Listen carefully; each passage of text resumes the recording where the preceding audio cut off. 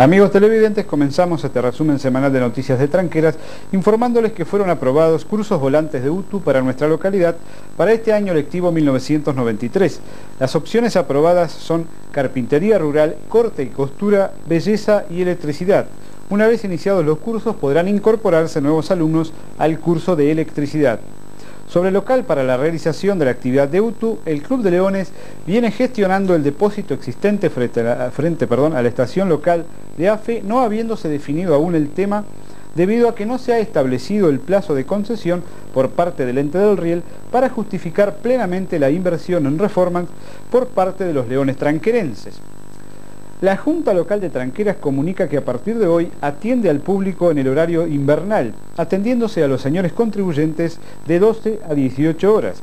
También la Biblioteca Municipal Juana de Ibarburu ampliará sus horarios de atención teniendo en cuenta el comienzo de las actividades de la enseñanza en la presente semana.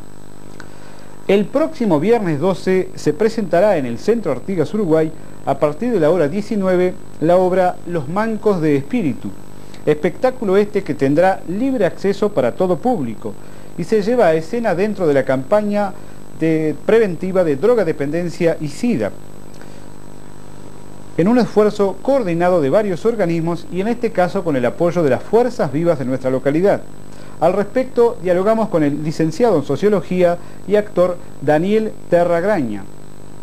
Eh, la presentación de la obra teatral Los Mancos de Espíritu, que está enmarcada dentro de la campaña de prevención de drogadependencia y SIDA, que apoya la Intendencia Departamental de Rivera, eh, organiza en el Departamento de Prensa y Relaciones Públicas, el Centro de Información a la Juventud, el Ministerio de Salud Pública, Centro de, de Salud Rivera, y jóvenes voluntarios, que bueno, gente que se ha querido sumar porque esta es una campaña de todos y para todos, donde bueno, puede participar absolutamente todo el mundo, bienvenido sea, sin colores políticos, las edades, las drogas no eligen ni edades ni escalas sociales, así que tampoco tienen que, elegir la gente que, que quiera hacer esto. ¿Hacia dónde apunta el proyecto? O sea, mostrar qué aspecto de la droga dependencia, la represión, el castigo o la rehabilitación por otros medios. Los Mancos de Espíritu propone, más que nada, habla del entorno social, habla de lo que nos pasa a los seres humanos. Eh, no apunta a la represión y no es nuestra área tampoco. Eh, apunta al hombre, al ser humano, a lo, que nos, a lo que nos pasa, a las cosas que estamos perdiendo, los valores que se están yendo. El nombre de los Mancos de Espíritu es muy significativo. Propone contarle a la gente que que hay cosas pequeñas, cotidianas, esas cosas que nos pasan todos los días que no nos damos cuenta, que, que son para que las pensemos, las repensemos, que tratemos de no perderlas. Cosas que, por ejemplo, puede haber aquí en Tranqueras, en la unión familiar, la ayuda entre los vecinos, eh, la mano solidaria, cosas que, que, se están perdiendo, que a lo mejor ustedes, ustedes tienen, aun cuando, por ejemplo, en Tranqueras este, empiezan a haber casos de, de drogadependencia. Y más que nada también queremos comentar en esta obra que el problema, cuando se habla de drogas, siempre se habla de los jóvenes, como si los jóvenes fueran sospechosos. Y el problema no lo tienen solo los jóvenes. Una de las cosas que queremos resaltar en esto es que la drogadependencia, dentro de la drogadependencia debe contemplarse como la forma más grave en nuestra zona el alcoholismo. Ese es el grave problema del Uruguay. También está teniendo serios problemas con otras sustancias que empiezan a agregarse, pero el alcoholismo es la base para todo.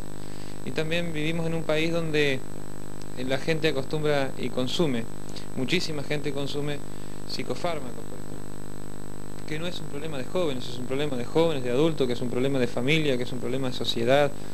Cuando hablamos de SIDA, por ejemplo, estamos hablando que uno de los problemas más graves que tiene un enfermo de SIDA es la marginación por parte de la población, eh, o por alguna parte de ella el, sentirse además de, esa enfermedad, sentir que, está solo, que es rechazado. Hablamos de, ese tipo de cosas. Sobre el escenario no van a ver a nadie ni drogándose, ni, ni, mostrando cómo, hay que drogarse, ni nada por el estilo. Lo que sí van, van a ver es una obra que, bueno, apunta un poco a la, a la espiritualidad del ser humano, eh, una de las cosas que sostiene la obra es que no hay que matar con el pensamiento lo que dicen los sentimientos y a eso vamos. Reiteramos que esta actividad es el día viernes 12 de la presente semana a partir de la hora 19 y 30 en el Centro Artigas Uruguay con entrada libre para todo público. Y el mismo viernes 12, pero a partir de la hora 23.30, allí en el centro Artigas Uruguay, se lleva a cabo un gran espectáculo bailable con la animación de las discotecas Concierto de nuestra localidad e Impactos de la ciudad de Tacuarembó. Luego de la pausa proseguimos informando. Barraca y Veterinaria Tranqueras, el emporio de la sal, 10 variedades distintas de sal para su elección y con los mejores precios de plaza. Sales mineralizadas y en una compra mayor de los 500 kilogramos le entregamos en su establecimiento sin costo alguno. Pare, entre y vea las ofertas de Casatito. Además del completo surtido de comestibles, somos representantes de bebidas Salus y revendedores de Coca-Cola.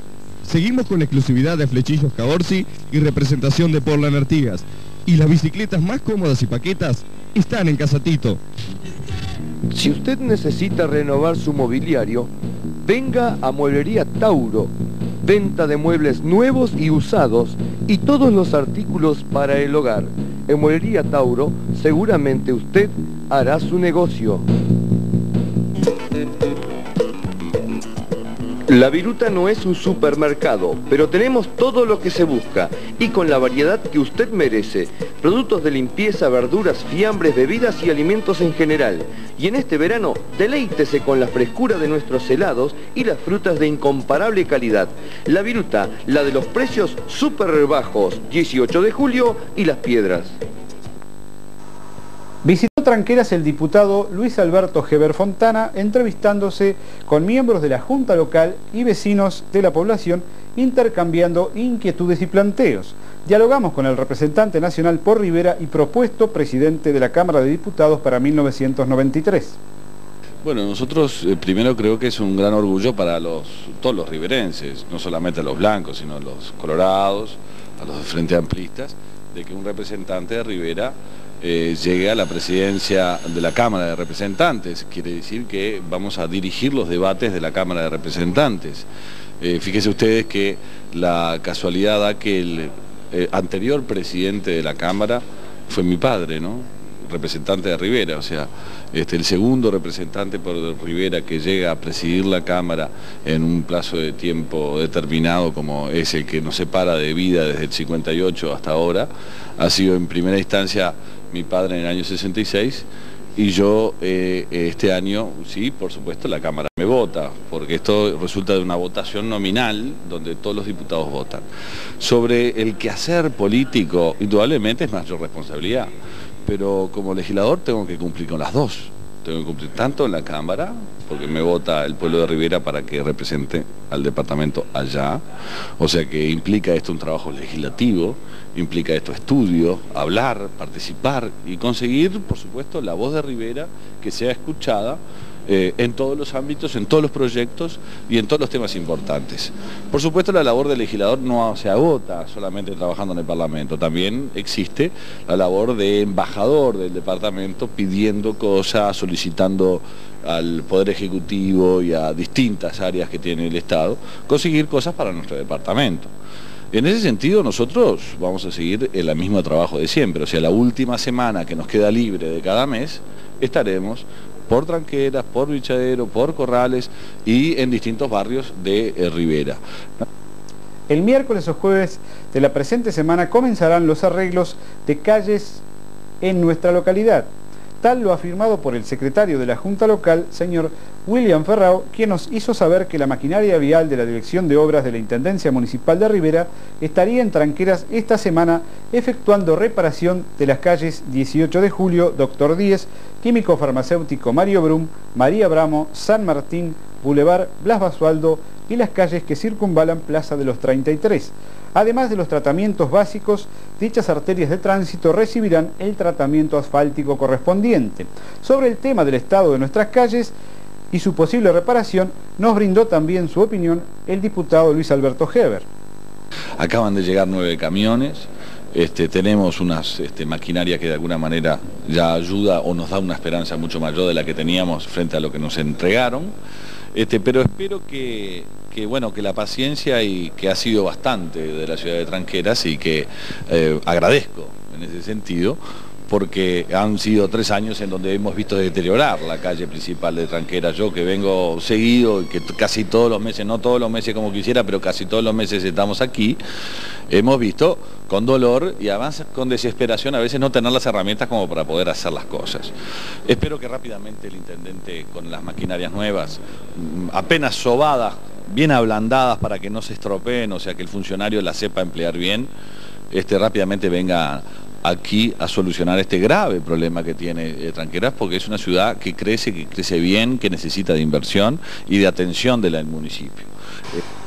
El tema de la iluminación del Estadio Municipal Euclides Silva Bittencourt tomó un nuevo impulso al conocerse la confirmación de la concesión por parte del Ministerio de Transportes y Obras Públicas del usufructo para explotación por parte de la Liga de Fútbol de Tranqueras de Montes sobre ruta número 30 para obtener fondos y dotar de iluminación artificial a Euclides Silva. Y de esta forma Tranqueras podrá participar en los torneos de la Confederación del Litoral como sector 2 del departamento al, resultar, al haber resultado campeón del torneo Confraternidad. El día 22 del corriente estaría nuevamente en el departamento el ministro de Transportes y Obras Públicas, Wilson El Sogoñi, momento en que quedarán sentadas las bases para hacer efectiva esta idea. La Comisión de Baby Fútbol del Artigas Fútbol Club comunica que está a la venta una promoción tendiente a obtener fondos para la compra de nuevos equipos para los menudos futbolistas. Dicha institución está trabajando en categoría babis de 13 años y cebollitas de 12 años de edad, impulsándose actualmente la formación de una liga de baby fútbol local para afiliarse a la liga departamental y posteriormente poder disputar competencias a nivel regional y nacional. Recordemos que Tranqueras a nivel de baby fútbol escolar ha obtenido resonantes triunfos disputando finales del Campeonato Nacional de Baby Fútbol Escolar en la capital del país en reiteradas oportunidades por parte de las escuelas números 3 y 131. Al frente de los planteles de Baby Fútbol del Artigas Fútbol Club se encuentra trabajando el señor José Luis Córdoba con la valiosísima colaboración de la Dirección de Plaza de Deportes, así como el profesor Nedi Iván Cardoso. Una trascendente jornada en el área de la salud se vivió en Tranqueras el pasado sábado en horas de la mañana, en la dependencia local del Ministerio de Salud Pública. En la oportunidad se estableció el servicio de partera cuya titularidad será ejercida por Lides Baladán. Además, se dieron a conocer gestiones para mejorar el equipo odontológico de la dependencia, así como la posibilidad de contar con una ambulancia más funcional y moderna dado que el actual, a pesar del esfuerzo del personal local, no está en condiciones de prestar un eficaz servicio a la población. También en la ocasión se ratificó la firme posibilidad de la ampliación del edificio de centro de salud y policlínica y con la coordinación del administrador del Hospital Regional, Manuel Rodríguez, y miembros de la Comisión de Ayuda al Hospital Rivera, se procedió a reforzar el trabajo de la Comisión Local de Ayuda a Salud Pública, formada por vecinos de nuestra población. En la ocasión, nos informó de los principales puntos de la jornada el director departamental de Salud Pública, doctor Antonio Aguirre.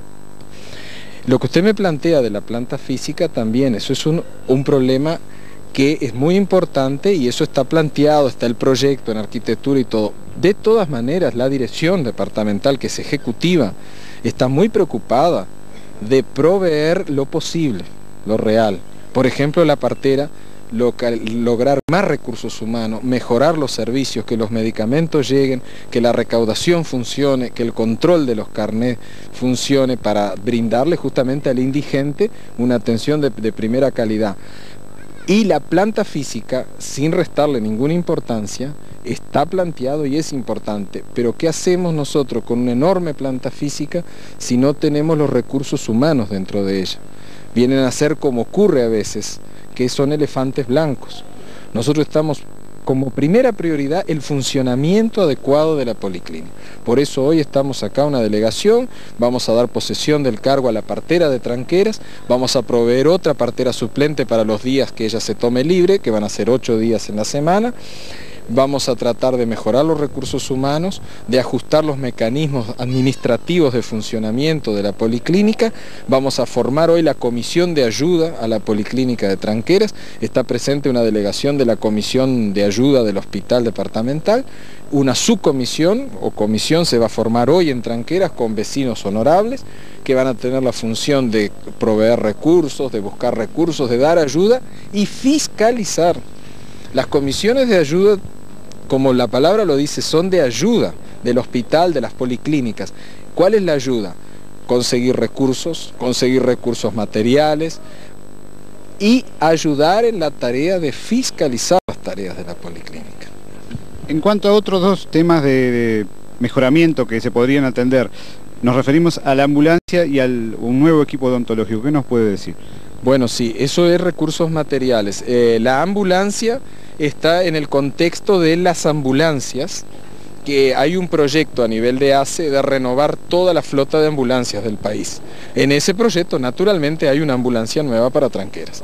Eso debería haberse concretado ahora en el mes de marzo o se va a concretar en el mes de marzo y eso depende de, o sea, es un trámite a nivel central que personalmente yo viajo eh, yo estoy seis días en el ministerio, voy dos veces al mes y estoy tres días realizando todo este tipo de trámites. Y la última información que tengo de febrero es que entre las ambulancias asignadas a Rivera, naturalmente hay una que es para acá, para la Villa Tranqueras. El equipo odontológico está solicitado y eh, también eso entra, entra del rubro de equipamiento central, no depende del nivel, pero también está encaminado una solicitud. Pudiera hacerse un equipamiento local con recursos propios de la comunidad que es otra de las posibilidades que se puede plantear a nivel de la Comisión de Ayuda. El Carnaval Tranquerense tuvo este fin de semana su cierre de actividades. A nivel popular, el tablado de calle 25 de agosto, esquina General Rivera, El Pelado se divierte, tercera edición, realizó espectáculos durante el fin de semana, despidiéndose hasta la edición 1994 pero sin lugar a dudas, el hecho que concitó la atención de los tranquerenses fue la participación de Verónica da Silva Lemos, la soberana del Club Atlético Tranqueras, en el certamen Reina de las Reinas. La cámara de nuestro compañero Juan Carlos Rodríguez estuvo presente cubriendo la participación de la representante tranquerense, recogiendo imágenes del desempeño de Verónica, así como sus palabras por gentileza de nuestro compañero de tareas, Sergio Riccieri. Como se sabe, a Verónica se le otorgó el título de Reina del Interior. El jurado determinó que los tres principales títulos le fueron otorgadas a soberanas de la capital del departamento como ya es de conocimiento público. Estas eran las palabras de la soberana tranquerense, reina del interior del Saltamen. Verónica Silva, reina del Club Atlético Tranqueras, reina de las Andías, edición 1993 y ahora reina del interior. Muy bien representado el interior por esta belleza morocha, hermosa morocha, que vino de tranqueras para llevarse los aplausos de la gente. ¿Cómo te sentís, Verónica? Realmente muy feliz, muy contenta de estar acá en el baile Reina de las Reinas, de haber hecho amistad, amistad con todas ellas, conocerlas y disfrutar de ese baile tan lindo. Sabes que nos llamó la atención ver una publicidad tuya. Yo digo, es lindo que chicas del interior puedan empezar en ese ámbito que es tan difícil entrar y poder hacer publicidades, poder entrar en el mercado del manequén. ¿Te gusta ser manequén? Sí, me encanta. Vimos que tenés condiciones. ¿Pensás seguir con la carrera de modelo? Si se presentan oportunidades, creo que sí. No, pensamos que sí. Digo, vas a tener que trasladarte a otro lado porque allá creo que no hay cursos, ¿no? Porque acá creo que no hay fuentes ni tampoco cursos. ¿Tus padres te acompañaron? Sí. Deben estar orgullosos, ¿no? Este año, ¿qué actividades vas a hacer allá en Tranqueras? Ahora, a partir de, marzo. Cursar el liceo. ¿Qué año estás? Sexto, voy a cursar ¿Sexto? Sexto de Derecho. ¿Y después? Después que termine pienso trasladarme a Montevideo para seguir mis estudios. Pues te felicitamos, damos los parabéns, como se dice acá en la frontera, y esperamos que puedas seguir tu carrera porque tenés mucho futuro. Bueno, muchas gracias. Bien amigos, hasta aquí nuestra labor de hoy. Gracias por su atención y será hasta el próximo lunes.